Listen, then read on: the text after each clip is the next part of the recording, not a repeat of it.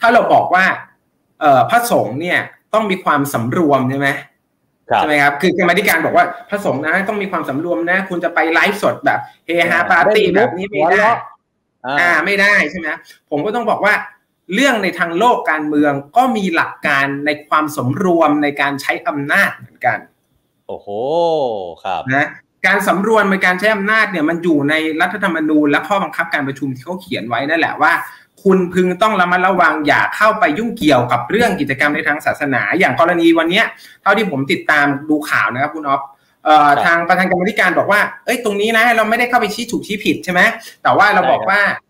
ทางกรรมธิการเองเนี่ยก็ปล่อยให้เป็นดุลพินิษของตัวพอสอทั้งสองรูปทั้งสองทั้งสองรูปนะครับว่ามหาภัยวันกับทางพระมหาสมปองเนี่ยจะได้ใช้ดุลพินิษในการที่จะไปไลฟ์และกำหนดว่าเออจะเท่าไหร่เท่าไหร่แต่ว่าในเบื้องต้นขอและการสักเจ็ดสิบสามสิบแม้ต่อรองอย่างกับเป็นการซื้อของเนี่ยผมฟังฟังดูผมก็ตกใจอยู่อะไรเงี้ยแต่ว่าโอเค อันนั้นก็เป็นเรื่องหนึ่งแต่ว่า สิ่งที่ท่านพูดมาเนี่ยในทางปฏิบัติโดยปริยายมันเป็นการเข้าไปล่วงกำหนดเนื้อหาแล้วถูกไหมครับคุณน็อฟ โดยสภาพเนี่ย การที่คุณบอกว่า โอเค เราไม่ได้ไปยุ่งเพียงแต่ว่าเรียกมาชี้แจงแล้ว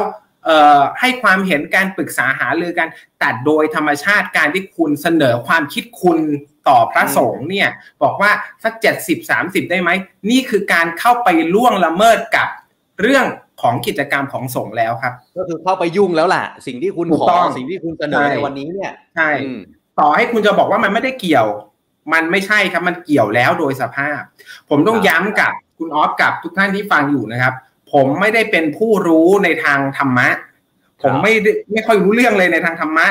ในทางหลักทางคำสอนผมไม่ทราบ ไอ้เรื่องที่ทางเอ่อพระสงฆ์ทั้งสองรูปเนี่ยนะครับพระมหาสมปองกับพระมหาไพวันเนี่ยท่านจะทำผิดทำถูกในหลักทำคำสอนหรือไม่อย่างไรผมไม่ทราบ นั่นคือเรื่องหนึ่ง นะครับนั่นก็คือสิ่งที่ทางสำนักพุทธต้องเข้ามาเคลียร์ต้องเข้ามาดูแลคนที่เป็นหน่วยงานคอยกำกับดูแลต้องเข้ามาดูแลตรงนั้น ซึ่งผมจะไม่แตะครับเพราะผมไม่มีความรู้นะแต่สิ่งที่ผมพูดแล้วผมย้ำวันนี้ก็คือ ผมกำลังจะพูดถึงเรื่องของหลักเกณฑ์ในทางกฎหมายบ้านเมือง มันคือรัฐธรรมนูญมันคือกฎหมายฉะนั้นสิ่งที่ผมกำลังพูดคือกรณีคณะกรรมการวันนี้ใช้อำนาจในการเรียกนะครับ พระมหาสมปองกับพระมหาภัยวันนั้นเนี่ย มันมีลักษณะเป็นการขัดแย้งกับรัฐธรรมนูญและข้อบังคับการประชุม ครับ เอออาจารย์อาจารย์แล้วแล้วแบบนี้ผมสงสัยนิดนึงว่า แล้วมันจะมีผลอะไรไหมฮะ ถ้าเกิดว่ามันขัดแย้งกับรัฐธรรมนูญ หรือว่าก็ไม่เป็นอะไร ก็ผ่านไปแล้วผ่านไปเลย คือถามว่าถ้าสมมุติมีลักษณะการขัดแย้งแบบนี้เนี่ยทำอะไรได้ไหม คำตอบก็คือถ้าดูในเชิงหลักการเนี่ยนะครับ สามารถที่จะไปร้องเกี่ยวกับเรื่องของจริยธรรมของตัวนักการเมือง ตรวจสอบกันภายในของของฝ่ายกรรมธิการในรัฐสภา เขาก็จะมีคณะกรรมการจริยธรรมในการเข้าไปตรวจสอบดูว่า เอ๊ะคุณ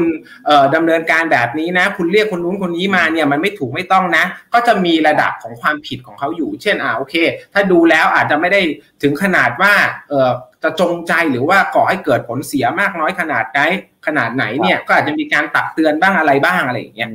นะครับ ก็จะมีมาตรการภายใน มีคนตั้งข้อสังเกตว่าทำไมสมัยก่อนเนี่ย บทบาทของคณะกรรมการไม่เยอะเท่ากับสมัยนี้ครับอาจารย์ในยุคก่อนๆอะไรเงี้ยเออผมมีความรู้สึกว่าส่วนหนึ่ง ถ้าเรามองในแง่ดีก็คือเป็นลักษณะของความค่อนข้างที่จะตื่นตัวในทางการเมือง